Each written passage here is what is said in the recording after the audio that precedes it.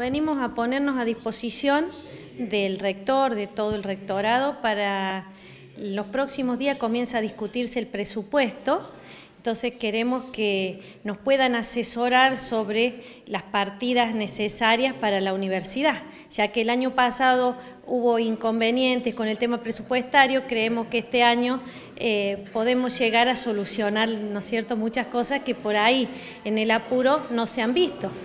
En la Cámara de Diputados, ¿cómo es que se está dando este debate y bueno, este recorrido previo que están realizando como legisladores eh, por diferentes instituciones y organizaciones?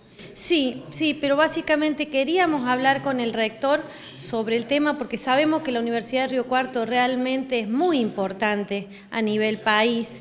Eh, recién le decía Agustín Caleri, yo soy de la época de los galpones, de allá, cuando yo estudiaba estaban los galpones, ahora está mucho más lindo, ya hace muchos años, ¿no?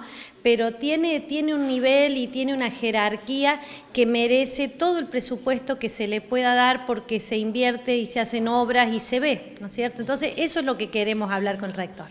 Más allá de la cuestión presupuestaria y de la educación y de las universidades, eh, ¿cómo evalúa este cierre de año en materia legislativa en el Congreso y cómo avisora el año 2018 que se avecina?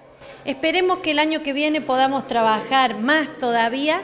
Eh, ha sido un año donde han salido realmente leyes importantes, no obstante eso yo soy muy crítica, creo que hay muchas leyes que presentamos proyectos los distintos diputados que se podrían convertir en leyes y que muchas veces por la urgencia, por sacar eh, cosas que pueden ser más importantes, se dejan de lado. Yo creo que el año que viene va a ser un año donde vamos a poder trabajar con más tranquilidad.